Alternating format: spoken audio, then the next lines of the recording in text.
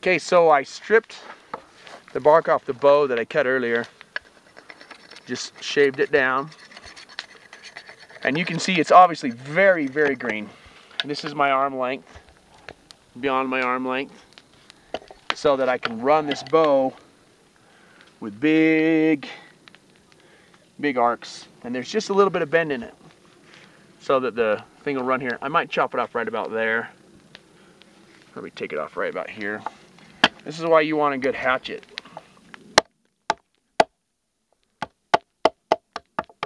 It's got sprayed with water.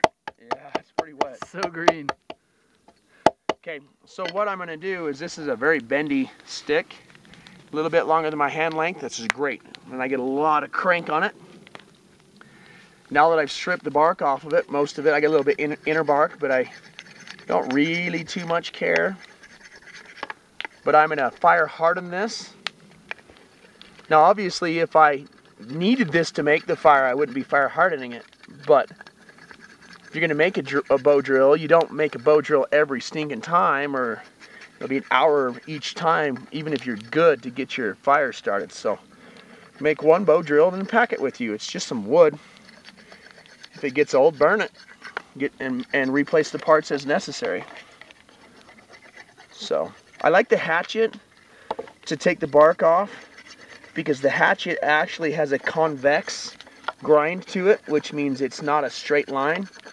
And that that is conducive to stripping this bark off and just smoothly shaving stuff off. It works really well. I said this earlier, but this is the Firehawk.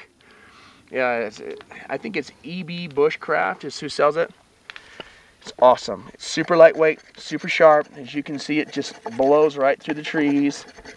It's got a fire piston on the bottom of it. I'll do that in another video.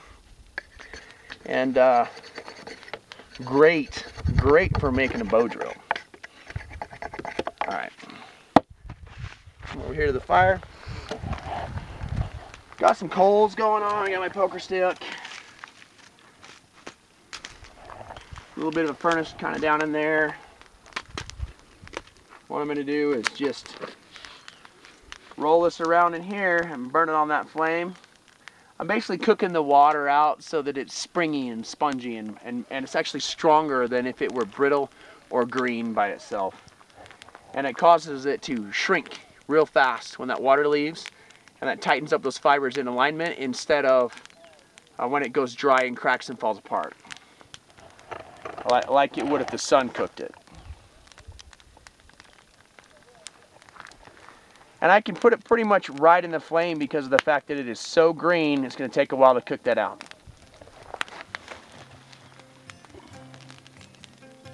You hear it sizzling the water out of it.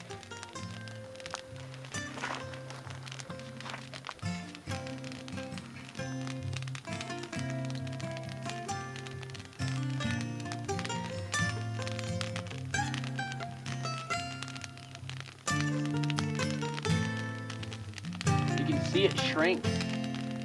It like condenses. It's pretty interesting. It's a very wet stick. It just rained last night too, so. Yeah.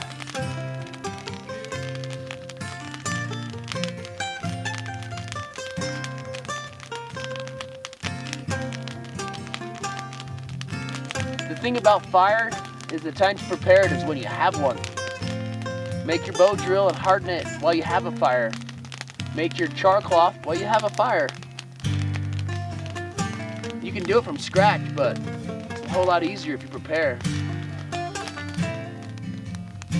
And that's how you fire harden the bow for a bow drill.